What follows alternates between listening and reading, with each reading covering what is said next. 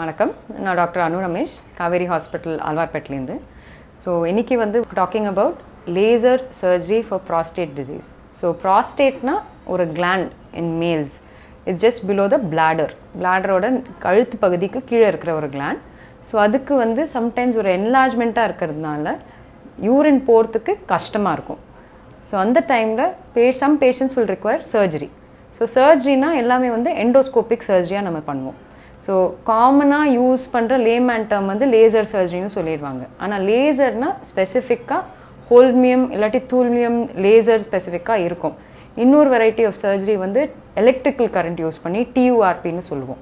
So laser using either holmium or thulium we call it HoLEP or ThuLEP or ThuFLEP so இதில் என்ன பண்ணுவோம்னா in fact எண்டோஸ்கோப்பிக்காக so urine passage வழியாகவே ஃபுல்லாக போயிட்டு நம்ம சர்ஜரி பண்ணோன்னா it is going to be no cuts in the body so surgery பண்ணும்போது அந்த லேசர் வச்சுட்டு அந்த enlarge portion of the prostate ஃபுல்லாக வந்து நம்ம கட் பண்ணிவிட்டு பிளாடர் நீர் பைக்குள்ளே வந்து தள்ளிட்டு நம்ம சிப் பண்ணிடுவோம். Using a specific instrument called morcellator and எல்லாமே யூரின் பேசேஜ் வழியாகவே எடுத்துட்டு ஒரு யூரினரி கெத்தீட்டர் நம்ம வைப்போம். ஸோ இந்த மாதிரி ப்ரொசீஜர் பண்ணும்போது கெத்தீட்டர் யூஸ்வலி ஒரு நாளைக்கு இருந்துட்டு அடுத்த நாள் நம்ம எடுக்கிற மாதிரி இருக்கும்.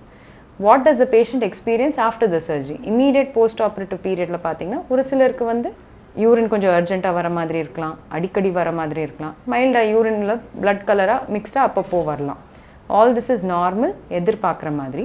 பட் மோஸ்ட் இம்பார்ட்டண்ட்டாக நம்ம எல்லா பேஷண்ட்ஸ்க்கும் சொல்லுவோம் ஒரு மைல்டாக யூரின் ஒரு ஸ்லைட்டாக லீக் கூட வரலாம் இனிஷியல் டேஸில் அந்த ஹீலிங் பீரியட் டைமில் அதுக்கப்புறமா எல்லாமே இல் start healing and patient will be all right என்ன அட்வான்டேஜ் இந்த சர்ஜரியில் பார்த்தீங்கன்னா ஒன் எண்டோஸ்கோப்பிக்காக நம்ம பண்ணுறோம் ஸோ ஃபுல்லாக வந்து ப்ரொசீஜர் வந்து எந்த பா பாடியில் எந்த கட் இல்லாமல் நம்ம பண்ணுற மாதிரி இருக்கும். ரெண்டாவது அட்வான்டேஜ் பார்த்தீங்கன்னா அந்த லேசர் யூஸ் பண்ணுறதுனால நம்மளுக்கு ப்ளீடிங் சான்சஸ் வந்து ரொம்ப ரொம்ப கம்மியாக இருக்கும். அண்ட் பேஷண்ட்க்கு வந்து ரொம்ப அக்யூரேட்டாக நம்ம பண்ணுற மாதிரி. எப்படின்னா நீங்கள் ஒரு தேங்காய் எடுத்துட்டிங்கன்னா கம்ப்ளீட்டாக inner part of the coconut நம்ம ஒயிட் ஃபுல்லாக எடுத்துகிட்டு அந்த ஓடு மட்டும் விட்டுட்டு வர மாதிரி இருக்கும். So the patient will have very good results post these surgeries thank you